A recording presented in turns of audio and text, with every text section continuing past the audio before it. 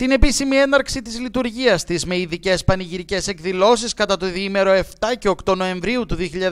2016 σε δράμα και καβάλα θα πραγματοποιήσει η νέα έδρα της UNESCO στην Ελλάδα, διατήρηση και οικοτουρισμό σε παρόχθια και δελταϊκά οικοσυστήματα. Την Δευτέρα στις 7 Νοεμβρίου στις 7 το απόγευμα γίνεται η επίσημη έναρξη της ε, έδρας αυτής σε μια τελετή στην οποία θα παρευρεθεί η πρόεδρος της Εθνικής Ελληνικής Επιτροπής της UNESCO, κυρία Τζιζικώστα,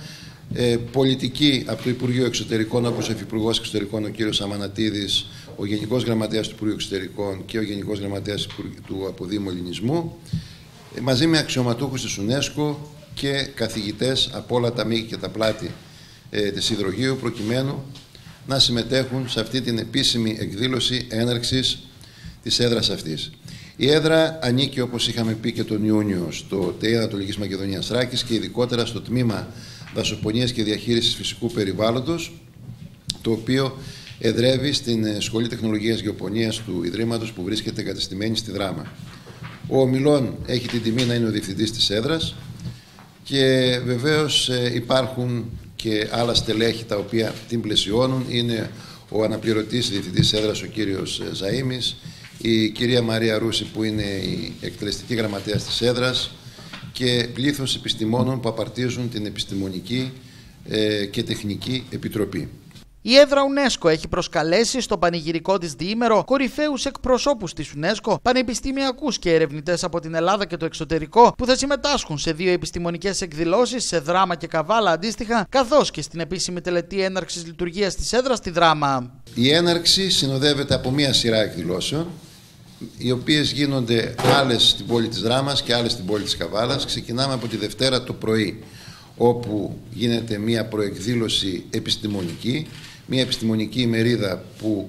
σχετίζεται ακριβώς με το αντικείμενο της έδρας, με τα παρόχθια και δελταϊκά οικοσυστήματα, με ομιλητές ε, και τον Γενικό Υπεύθυνο Ιδρολογικών Προγραμμάτων της UNESCO σε παγκόσμιο επίπεδο, κύριο Φιλίπ Παϊπαέρτ, αλλά και καθηγητές από Αμερικανικά και Ευρωπαϊκά πανεπιστήμια, ιδιαίτερα διακεκριμένους, κορυφαίους στο θεματικό τους πεδίο, στο γνωστικό τους αντικείμενο. Ε, αυτή η εκδήλωση γίνεται στο αμφιθέατρο της ε, Σχολής Τεχνολογίας Γεωπονίας στη Δράμα. Το βράδυ στις 7 ε, Νοεμβρίου στις 7 η ώρα στο κεντρικό αμφιθέατρο της Αντιπεριφέρειας Δράμας γίνεται η εκδήλωση της έναρξης στην οποία σας είπα θα χαιρετήσει η Πρόεδρος της Εθνικής Επιτροπής κυρία Τζιτζικώστα θα παρουσιάσει ο Μιλών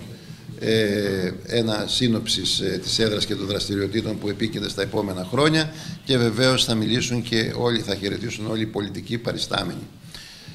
Ε, την Τρίτη γίνεται εδώ στην πόλη της Καβάλας και είναι ιδιαίτερα σημαντικό αυτό και θέλω να το τονίσω, μια και βρισκόμαστε αυτή τη στιγμή εδώ στην πόλη μας, γίνεται για πρώτη φορά στα χρονικά της UNESCO η πρώτη διαβαλκανική συνδιάσκεψη όλων των εδρών ε, που εδρεύουν σε χώρες μέλη της UNESCO της Βαλκανικής. Θα έρθουν δηλαδή ε, διευθυντές UNESCO chair holders όπως τους λένε από όλες τις χώρες της Βαλκανικής και υπό την ε, προεδρία της κυρίας Τζιτζικώστα η οποία θα παραμείνει στην πόλη και επαναλαμβάνω είναι η πρόεδρος της Εθνικής Επιτροπής και του κυρίου Παϊπαέρτ θα διενεργηθεί στο ξενοδοχείο Ιμαρέτ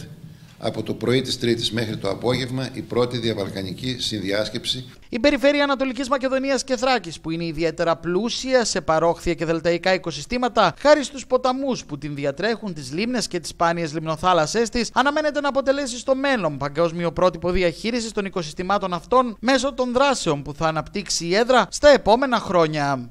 Η έδρα αυτή που ξεκινά τώρα τις δράσεις της αρχικά για μια τετραετία. Και φιλοδοξούμε, εάν όλα πάνε καλά,